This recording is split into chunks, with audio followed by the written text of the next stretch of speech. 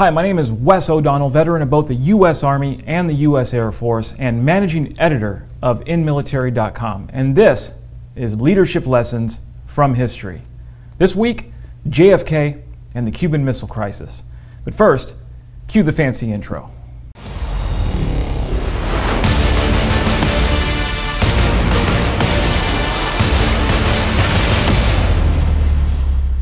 For 13 days in October of 1962, the world was brought to the brink of nuclear war. On October 14, 1962, an American U 2 spy plane photographed an SS 4 Soviet medium range ballistic missile being assembled on the island nation of Cuba. Soviet made medium range ballistic missiles, placed only 90 miles from the coast of Florida, gave the Soviets an incredible first strike capability.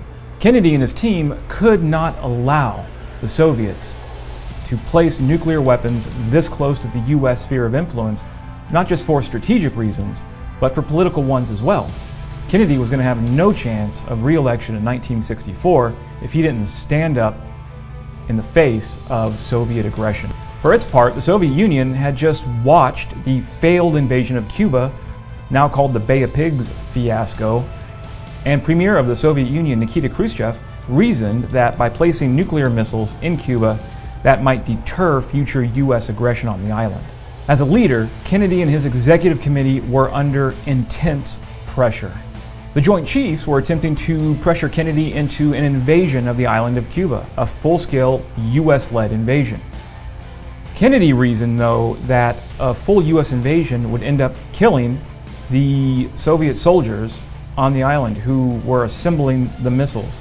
Killing Soviet soldiers might have resulted in a full scale shooting war with the Soviet Union and perhaps nuclear Armageddon.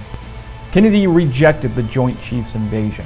Instead, he kept a more measured approach and decided on a blockade or a quarantine of the island of Cuba by the U.S. Navy to prevent more nuclear weapons from reaching the island. In addition, he set out an ultimatum to Nikita Khrushchev that the missiles that are currently on the island need to be removed immediately. The blockade worked, and the Soviet Union and the United States came to an agreement that the United States would never attempt to invade Cuba again, and the Soviet Union would remove the missiles from Cuba. Also, Kennedy agreed to the removal of U.S. missiles that were based in Turkey. However, at that point they were obsolete and out of date.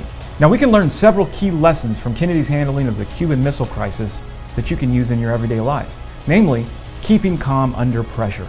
First, stay calm and remain fearless. See the situation as a challenge, not a crisis. Second, focus on the goal and keep it simple. Find order in the chaos and have clarity of thought. Third, learn to deal with ambiguity. Most people don't respond well to the unknowns. Teach yourself to become more adaptable and respond to events objectively rather than emotionally. And finally, delegate what you can. You don't have to control everything. In Kennedy's case, he had his brother, then Attorney General Robert Kennedy, take a note directly over to the Soviet ambassador uh, stating that we were going to remove our missiles from Turkey, sealing the deal. All right, leaders, get out there and show the world that you know how to stay calm under pressure. This is Wes O'Donnell with Leadership Lessons from History. See you next week.